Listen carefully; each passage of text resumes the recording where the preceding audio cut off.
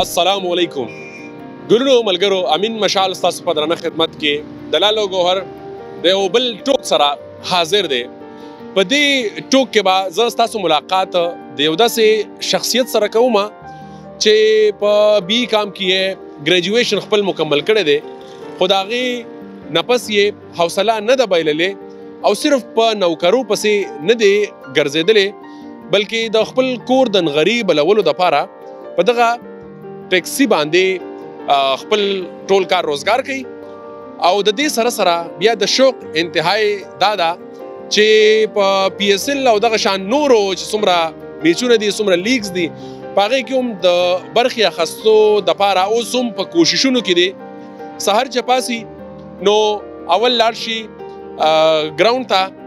هلته کې د کرکټ په سیالو کې د ګډون د پاره خپل ځان تیاری او پریکټیس کوي پس لاغه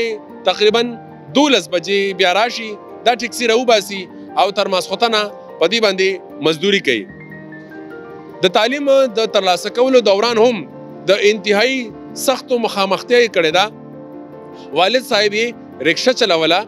او د به هم د تعلیم سره سره مهنت مزدوري هم کوله او د خپل کورن غری د بل ساتلو د پاره د ټکسي دغه څخه راخسته ده ستاسو ملاقات زه د عامر خان سره کوم السلام علیکم عامر خان ترې د ګاړې نه را بهر شي او تاسو سره به هم دلته کې خبرې تریو شي تر ټولو اول خو السلام علیکم وعلیکم السلام او د خپل ژوند قصه دې راته یو وارې بیا هم بیان کا د ماشومتوبه تر دې ځایه ستا پکې تعلیم هم او اوس دې ورځ شپې څنګه سبا کېږي یاره جی که تاسو د ماشوموالي نه دغه وکړئ نو ما جی د سټارټ نه ډېر سخت وخت کتلی دی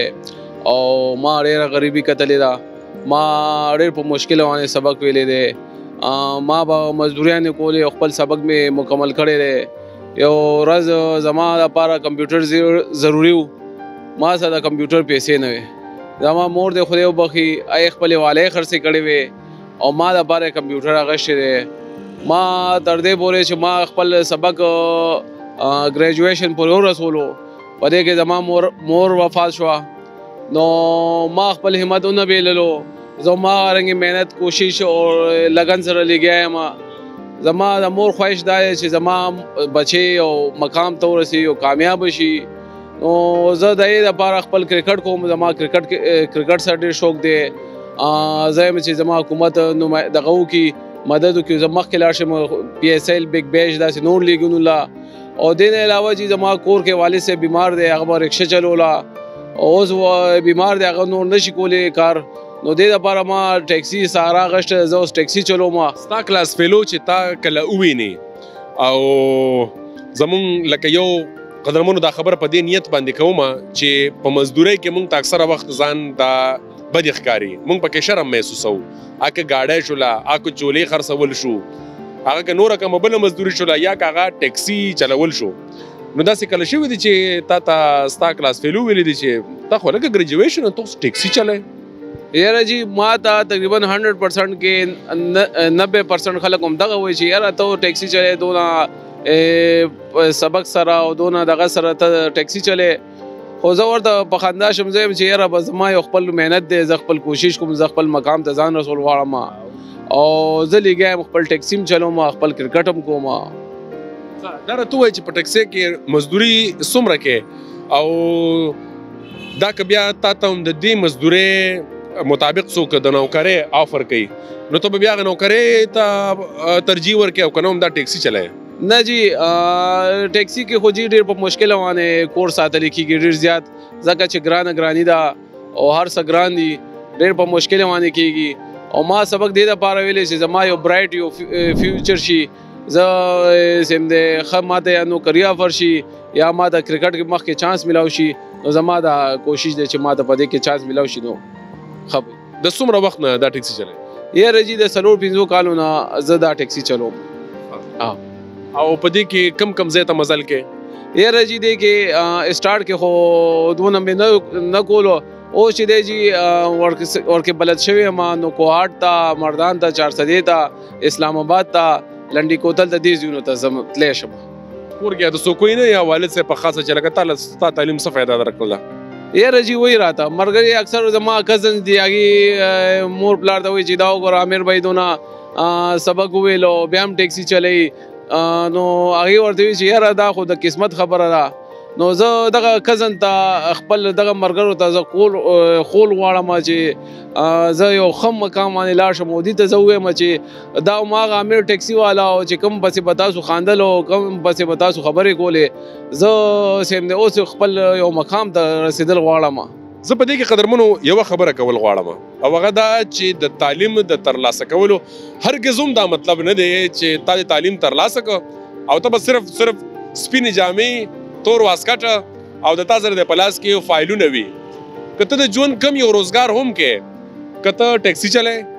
کته خپل ذاتی روزګار کې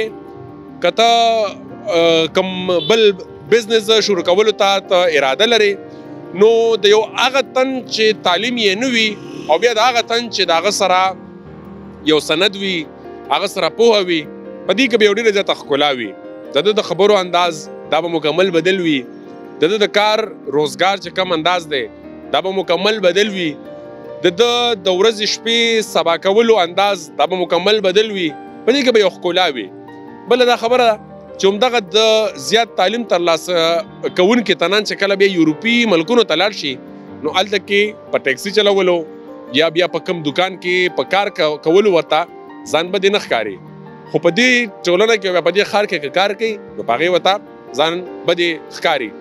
زما که نن کومه سټوري ده او دغه ټیکسي زه تاسو ته د یو مثال په توګه درښایم نو دا د هغه خلکو د پاروم زه یو مثال وړاندې کول غواړم چا چې تعلیم تر لاسه کړی دی چا چې یو ډیګري اخیستې ده او په کور کې صرف او صرف په دې تمه ناست دي چې ما ته د حکومت نوکري راکړي ما ته د بیا کومه بله ان جي او نوکري راکړي زه به صرف او صرف دا نوکري کوم نو هغوی ته صرف او صرف دا په دې غرض باندې ښودل غواړو چې تاسو راپاسئ او په دې ټولنه کې چې څومره روزګارونه دي په هغې کې شریک شئ او دغه ټول روزګارونه دغه د تاسو په خپل خکلا ورکي د خپل کار روزګار په خپل مالکان جوړ شي څنګه چې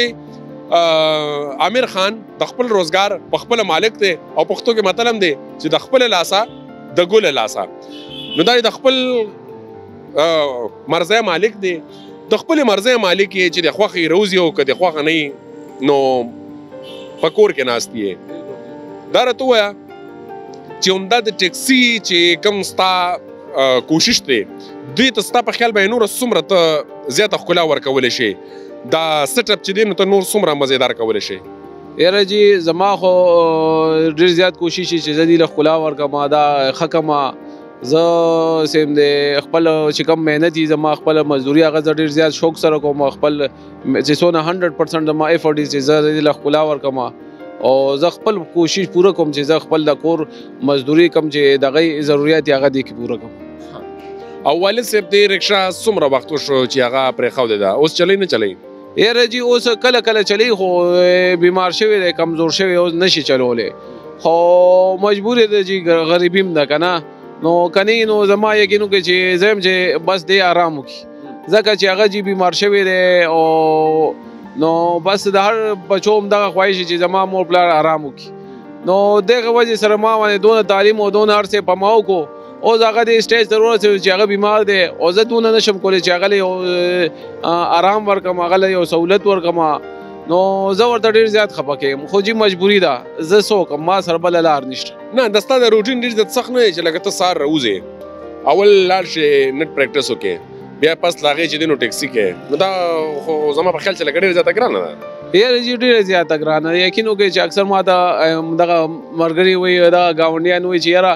تا سم دې ستا دړه زور زیات دی ته سهار کې کرکټ لځې او نه پس بیا ته ځې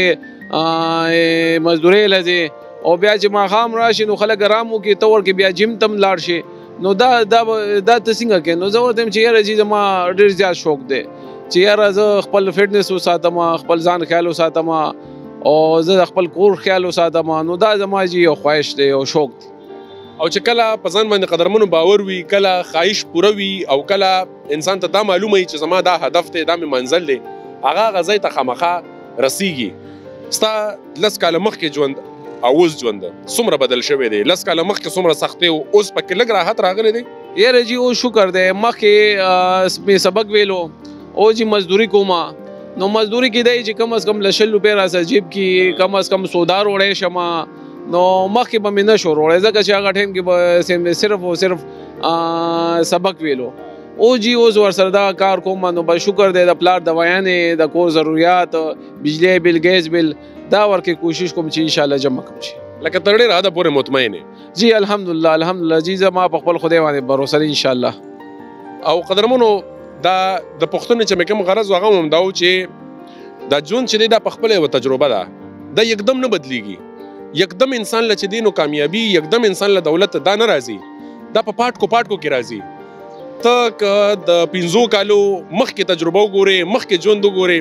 او اوس خپل ځان وتلې نو د پنځو کالو دوران به ستا په ژوند کې ډیر زیات خواله راغلی وي بیا که ته د راتلونکو پنځو کالو د پاره خپل وخت دا مقرر کې چې په دې کې دا زما اهداف دي دا زما کار دی دا زما منزل دی دا زما منزلت دی نو په هغې کې به خدای پاک خامخا مو ښکلا راولي چې کله په د انسان په خپل رب باندې باور وي څنګه چې امیر خان ویل چې را زما پر رب باندې باور دا پوره ده جی دا هو ډېر زبردست لګته اوس سما از سره ملاقات وشو او ډېر موده زه دې نه ودا کده پلازا کې کنه اوس سره نو ډېر ښه تجربه دی او ښه کار دی دا چې کم دې کاروبار کې تعلیم په بار کې کم دې خبرې کوي نو ډېر د خوشاله خبره ده او ډېر د اهمیت خبره چې دا سیالک مخکې راځي او وړاندې کیږي ډیر زیاته مننه تاسو کو قدرمنو دا مې ته هم د دې ملګری چونکه لکه دلته ملګری سره نورم ولاړ دي د کیمرې په شا باندې او څوک راتل غواړي څوک نه نو د د دغه مهنت دا ان شاء الله چې دا برنګ وروړي او دا زموږ د پاره او تاسو د پاره یو موټیویشن دی دا زموږ استاد د پاره یو انسپیریشن دی او داسې شخصیت چې دی دا ځلیږي دا خامخا هم ځلیږي دا ځلنده ستوري دي او د دې د خونې د دوی تاسو ته تاسو ته د وړاندې کولو زمونږ چې کوم بنیادی غرض او مقصد دی هغه دغه دی چې ژوند ډیر زیات ښکلی دی خو دغه ژوند کې به ښکلا دا انسان ځان ته په خپله راولي او ژوند دې کې به ستا برخه کردار دا په خپله وي چې څه تا کرلي هغه به ته ریبې او چې څه ستا محنت رب کائنات په تعالی د هغې سیله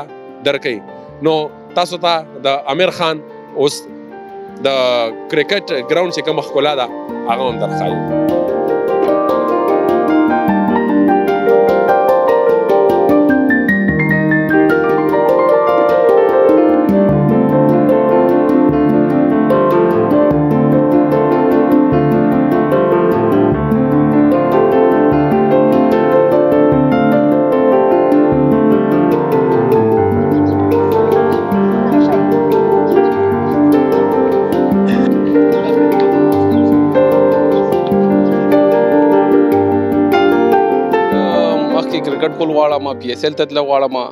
زما په خپل ځان باندې باور دی او زه د ډېر ټایم نه زه کرکټ کوم او دې سره زه ټیکسی به چلوم او سهار کې زه پهله راشم کرکټ له کرکټ تقریبا دوه درې ګنټې کرکټ وکم آینه پس بیا لا شم ټیکسی وباسم ټیکسی ما خام پورې زه چلوم او ما خام چې بیا راشم آینه پس زه جیم ته ځم نو جیم چې زه وکم آینه پس بیا نه لس بجی نو بیا زما د آرام ټیم نن سبا مزدوري کول ډېر ټف دی خلک پوره ورځ مزدوري نه کوي بیا مجاړي او فریادونه کوي او الحمدلله مالا سیم دی خدای په لږ ټایم کې ښه مزدوري راکړي او زما یو سیم دی یو جنون دی یو خواهش دی چې زه خپل کور هم وساتم او خپل کرکټ لم ټایم ورکړم زه خپل کم چې شوق دی زما کرکټ جیم دی لم زه ټایم ورکوم او ټیکسي چلول جی زما مجبوري ده زما والد صاحب بیمار دی او زما روریان خوریان دي چې دای کفالت زه کوم نو ټول ذمہ واریان په ما دي نو دی وجه سره چې زه اوس کرکټ نشم پرېښی ما ول ډېر کافي ټایم ورکړی دی نو دی وجه سره زه کرکټ سهار کې وکم او بیا نه پس ټیکسي وباسم ماښام پر زه ټیکسي چلوم یاره جی زما خو سپیشلیټي چې دا انګ سوینګ زه کوم او کافي زما انګ سوینګ کیږي او خخه بیټسمنان ماوټ کړی دي او دلته سیم دی زما سپیډ هم ښه سپیډ دی یاره جی زه خو چې کوم دغه کوم دا موجوده حالات کې دغه شاهین افریدي کوي محمد حسین کوي نو دا زموږ ټیم تم ډېر ښه فائدہ ورکول شي که زما لک سپورټ وکړي شي نو ان شاء الله زه به د پاکستان روان سټار یم غریب اکثر بیماری او نشي چلولی خو زه ورته ډېر زیات خپه کېږم خو څوک هم زما مجبوري ده خواهش کوم د خدای نه چې یا الله ته زما ښه ثواب وکړي چې زه والد صاحب له آرام ورکړم او بس بوډا شوی دی زم چې دی اوس نور آرام کی خو لکه زما ګرانه ګرانی ده او بیروزګاری ده نو دی وجه سره زه هغه غریب لګي اوس هم خپل مهنت کوي 100% کې 85% ما ته خلک مخالفت کوي زما والد صاحب هم کوي زما فیملی کې هم کوي او ما ته وی چې دا ته سکه یار دونه سخت وخت دی خلک مزدوریان نه شي کولای ته دې کې کرکټ هم کې او عین پز مزدوریم کې پجوند کې چې کم سخت دی هغه زما مستقبل دی زما والي زما مور مور د خدای وبخي دای او خواهش وو چې زما زوی لار شي زه کامیاب وینم خو نن زما مور نشته په دې دنیا کې او زه دای دغه خواهش پوره کول غواړم زه حکومت پاکستان نه خواست کوم چې مال مخکې سپورټ راکړي او ما پی ایس ایل او بیا انټرنیشنل لپاره دی دا کی یاره جی چې کم ټایم کې ما تعلیم کولو نو آی سره ما مزدوري کوله او پای باندې به ما خپل تعلیم پوره کولو او اوس هم دیګم خپل مزدوریانه کوم آی سره خپل کرکټ کوم نو اوس ډبل هارد ورک کوم یاره جی ډیس هارد کې کم نه زما جی یو خواهش دی زما یو شوق دی کرکټ کول ځان فټ ساتل او ایکسرسایز کول دا زما شوق دی زه ډیر د کم ایج نه لګیا مزه د خپل شوق پوره کوم ما سره چې کم مرګري وو هغه جی اوس پرې خېده کرکټ هم پرې خېده ایکسرسایز هم پرې خېده جیم هم پرې خېده خو د دې باوجود هم زه لګیا ما ای اکثر ما ویني چې یاره ته اوس پوری لګیا د کرکټ کې نو زه ورته وایم چې یاره در کمې پورې چې زه ژوندی یم زما د اکسرسایز زما د فټنس به انشاءالله وي زه چې ما ته که حکومت موقع راکړي او ما مخکې لیګز دپاره بیګ بیش دپاره دغه رنګ نور لیګز لیګز چې کوم دي دې لپاره که ماله یو دغه راکړي پلیټفارم راکړي نو انشاءالله زه به زما فټنس به انشاءالله دې وویني زه به هملته خپل پرفارمنس وکړم انشاءالله نه نه جي دلته هر څه بالون هم علم په خپلو خپل فیس هم د اکیډمۍ ورکوم خپل کم ټریک سوټ او کم بوټان چې دی ارسه جی زه په خپل پیسو علم او خپل خرچه کوم سار کې چې کم راځم هغه زما خپل کنوینسی نو زه ارسه زما په خپل پیسو